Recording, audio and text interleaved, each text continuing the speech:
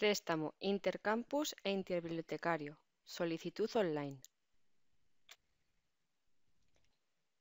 En este vídeo explicaremos qué hacer cuando necesitamos un documento que no encontramos en nuestra biblioteca.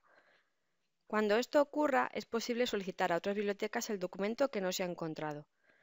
Para ello utilizamos el servicio de préstamo interbibliotecario e intercampus. Para realizar una petición de un documento utilizaremos el servicio de préstamo interbibliotecario intercampus que nos ofrece la biblioteca universitaria, realizando una petición online. Para ello, en la página web de la biblioteca nos desplazamos hasta la parte inferior al azulejo Préstamo interbibliotecario e intercampus. En esta pantalla encontraremos dos pestañas, con la información de los dos tipos de préstamo que se pueden realizar para documentos que no se encuentren en nuestra biblioteca, tanto de libros como de artículos de revista. El préstamo interbibliotecario proporciona los documentos localizados en las bibliotecas de otras universidades y centros de información nacionales y extranjeros. Este servicio no es gratuito, conlleva el pago de una cantidad que establece la biblioteca que presta el documento, salvo con aquellas que tengamos algún tipo de convenio. Puedes consultar las condiciones del servicio, los compromisos de la biblioteca, tarifas, etc. desde esta página web. El préstamo Intercampus suministra los documentos que se encuentran en otras bibliotecas de la Universidad de Castilla-La Mancha. Este tipo sí es gratuito. Para realizar la solicitud, tanto si el documento está en la UCLM como si no está, debemos acceder siempre desde el enlace del campus al que pertenecemos. Encontramos en primer lugar una pantalla en la que debemos introducir nuestras credenciales de la UCLM. Si es la primera vez que utilizamos este servicio, tendremos que darnos de alta en el sistema de préstamo interbibliotecario Intercampus, rellenando el formulario que encontramos al pinchar en Regístrese, con todos nuestros datos personales y dejando el correo de la UCLM que aparecerá por defecto.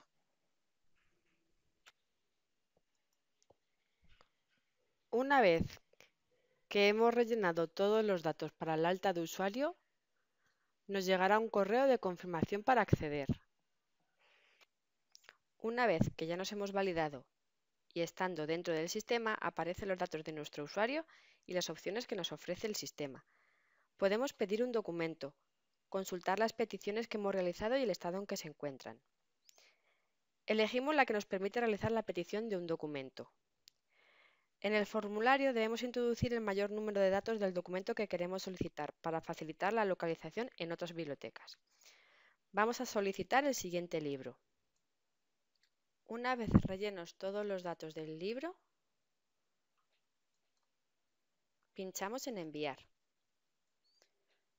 Nuestra solicitud ha sido tramitada. Además de realizar una petición, podemos consultar el estado de nuestras peticiones, si pinchamos en Mis peticiones, aparecerá un listado con las peticiones que hemos realizado y su estado. Observamos que el documento que hemos utilizado como ejemplo está pendiente de gestión hasta que el personal de la biblioteca lo tramite. Desde el listado podemos acceder al menú de usuario para pedir otro documento, consultar nuestras peticiones, solicitar la renovación de los mismos y desconectarnos del sistema. También se puede solicitar un documento por préstamo intercampus cuando visualizamos registros desde el catálogo.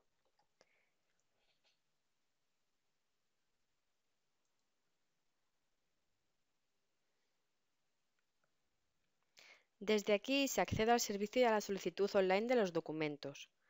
Recuerda pinchar en el enlace a tu campus e identificarte. Automáticamente se rellenan los datos del registro bibliográfico en nuestra solicitud.